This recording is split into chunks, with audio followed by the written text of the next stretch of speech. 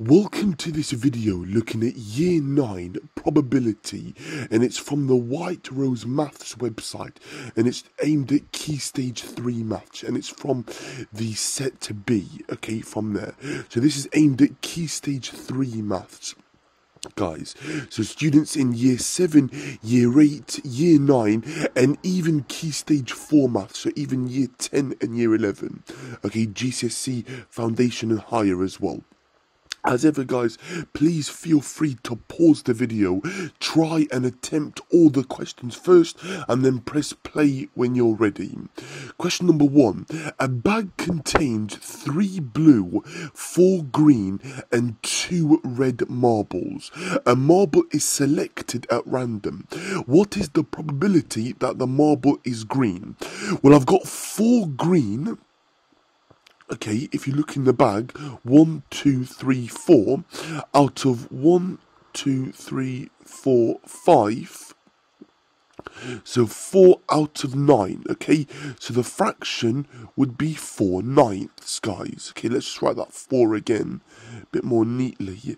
Okay, so the answer is four ninths, okay? Because there are four out of a total of nine. What is the probability that the marble is not red?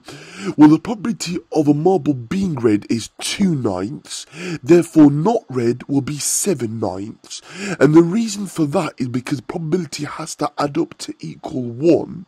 Okay, if I add together 2 sevenths, sorry, 2 ninths and 7 ninths, I get 9 ninths, which is equal to 1.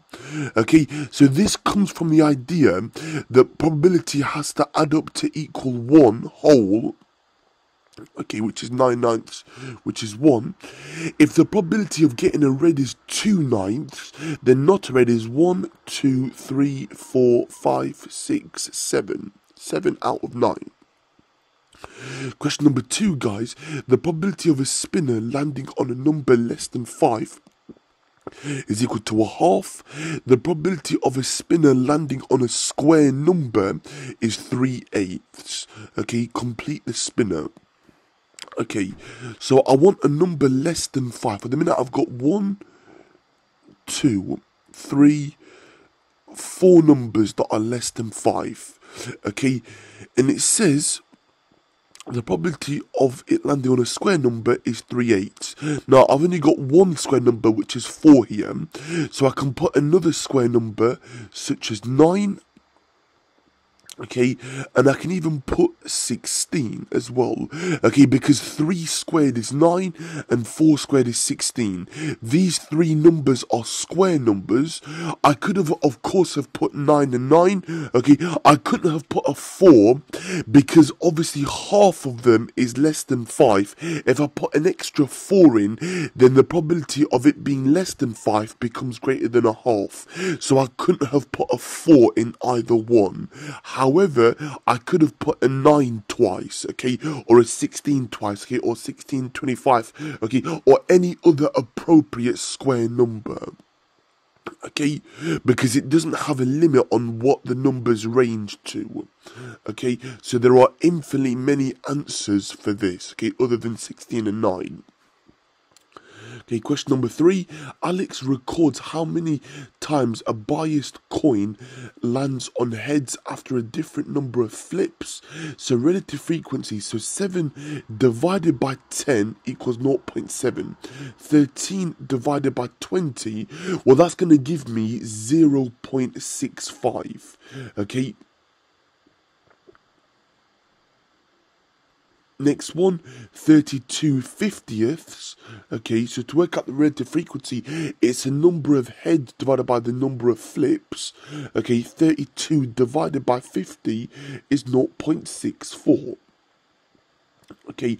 Because if you think about putting these fractions out of a hundred then it will make it a bit more easier. 68 divided by 100 is 0.68 okay? So this is where i got the decimals from guys. So to work out the relative frequency i did the number of heads divided by the number of flips and i got my decimal answer Okay, so that's the first part done. Which relative frequency gives the best estimate of the probability of the coin landing on heads? Well, in general, the probability of getting the heads, guys, is a half or 0.5. So we want the decimal that is closest okay to 0.5 actually however okay another factor will be the number of flips okay? So i am gonna say okay that 0.68 will give like a bet, best estimate because it depends on the more number of times I throw it, the closer and closer I will get. Okay, so the more number of flips I have, the closer and closer I'll get. Okay, in general, okay, this is tending towards like 0.7 okay it is around that area okay so the more i throw it like the higher chance of it landing on heads as opposed to tails because it's what I call a biased coin. A biased coin means it's not fair. Okay, but in general, the probability of getting a heads on a non-biased coin is 0.5. Okay, the probability of getting a tails on a non-biased coin is 0.5 okay. But this is saying which gives the best estimate. So this straight away needs to be the one that has the most number of trials. So that's why i've gone for that answer. Okay? Because it's got the most number of attempts. Okay? The more flips that i have the closer and closer it will be to that true value. Okay? Which in this case is around 0.7 Question number four. The table shows the probabilities of a biased spinner landing on each outcome. Okay, the spinner is spun 250 times. Estimate how many times it will land on purple. Well, probability has to add up to equal 1. So 0.35 plus 0.25 plus 0.1 plus the probability of purple has to equal 1. So 0.35 plus 0.25 is 0.6 plus 0.1 is 0. 0.7, therefore the probability of purple is 0.3. Okay, and you can of course check it by adding the decimals together. It does give you an answer of 1. I'm now going to work out estimate number of times. I'm going to do 250 times the probability of it being purple, which is 0.3. Okay, now this one's slightly easier because if you imagine 0.3 is 3 tenths, so I'm dividing by 10 and then times it by 3, so it becomes 25, times it by 3 is 75. Okay, because I imagine 0.3 as 3 tenths, so I did 3 tenths multiplied by 250. Okay, so I changed it into like a fraction of an amount. Okay, I did 250 divided by 10 and then times by 3. Okay, that's the same as multiplied by 0.3. Question number five, guys. The two way table shows information about people at a food festival. Okay, complete the two way table. Well, to work out the total of males, I'm going to add them together. So that's going to be 260 Okay, I do appreciate that I'm doing this in my head, guys, but please do feel free to use your column addition to work it out, okay, and check my answers, okay, along with that. Adding these together, I get 245. Okay, to work out this amount, I'm going to add these two numbers. So if I just do 45, add 88, and then I'm going to add that to 400 to make it a bit easier for me. So 5 plus 8 is 13. Carry that extra 1, I'll put it on top. 4 plus 8 is 12, plus the 1 is equal to 13. Okay, so that's 133, plus 400 is going to be 533. Okay, 533 okay, take away 260. Okay, so doing this in my head, guys, 500 take away 200 is 300. Okay, And then 33 take away 60 is minus 27. Okay.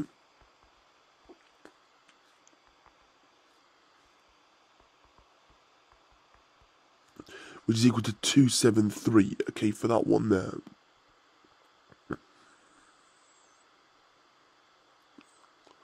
Okay, 273 take away 110. Well, take away 100 is going to be 173. Take away 10 again becomes 163. Okay, and we can check our answers by working this out. Okay, next part. One person is selected at random. What is the probability that they are 50 or over? Okay, so it is going to be out of a total, okay, of 533 because it's looking at the total number of people, okay. The number of people that are 50 or over, male and female, is 288. So the answer is 288 over 533, guys. Okay. Next question. A person aged under 50 is selected at random. So a person aged under 50, okay, what is the probability that they're female? Well, it's going to be out of, okay, under 50. So it's, it's going to be out of 245, okay, because it says a person aged under 50 is selected at random, so it's, it's going to be out of this. What's the probability that they're female? That's 110. 110 over 245, and I can simplify this fraction, but I'll leave it as that, okay? But you are welcome to obviously simplify that fraction. Okay, question number six, guys. C and D are independent events. Probability of C is 0.25. Probability of D is a, is one fifth. Find the probability of C and D. So the word and means I'm multiplying. So I'm going to do 0.25 times one fifth. Well, 0.25 as a fraction is one quarter. So I'm doing one quarter multiplied by one fifth it's multiplying fractions, so I times the numerators together and the denominators together. So 1 times 1 is 1, and 4 times 5 is 20. So the answer is just 1 20th, or 1 20ths. Okay, Question number seven, guys. Aisha gets the bus to school every Monday and Thursday. If she catches the bus, the probability that she is late to school is 0.35. Okay, complete the probability tree diagram. So that has to add up to equal 1. So that has to be 0.65. Okay. And again, it's going to be the same outcome for Thursday because Thursday doesn't depend on Monday. So 0.35. 0.35 for that, 0.65 for on time, okay, and then 0.65 for on time again. Okay, Find the probability that Aisha is late for school on exactly one of the two days. That means on time on Monday, late on Thursday, okay, and late on Monday and on time on Thursday. Okay, it says exactly one. So it's this tree times this tree plus this tree times this tree. So it's this number times this number plus this number times this number. Now it's the same sum here. So I'm doing 0.65 times 0.35. That gives me 0.2275 Okay, and again, for the next outcome, it's also going to be 0.2275.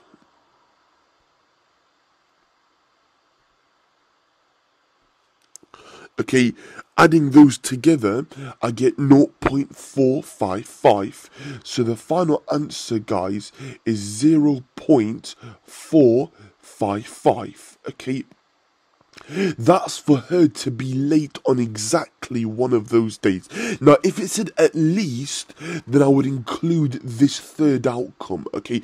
But because it said exactly one day, then that's only two possible outcomes. They are that she is on time on Monday and late on Thursday, okay, or late on Monday and on time on Thursday. So it's one of these two outcomes.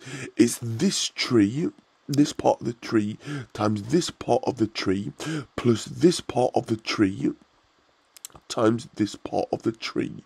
Okay, 0.65 times 0.35 gave me this answer, and 0.35 times 0.65 also gave me the same answer because multiplication is commutative. Okay, so be very careful, guys. If it says at least, then I would include the last outcome. Okay, but because it says exactly one, then it means I've got to be late on one day, on time for the other, and vice versa. Um, on time for the first day and late for the second or the corresponding day. Okay, right guys, that's the end of today's video on probability. So I sincerely hope you found it useful. I hope you found it informative. If you did, please press like. Please press that subscribe button if you're new to the channel. Okay, and let's hit 2k subscribers okay by the end of this month okay and lastly please turn on post notification by clicking that bell icon so you don't miss out on further and future videos on this channel okay? But that's it from me today guys. Thanks for watching. I'll see you soon okay? Bye for now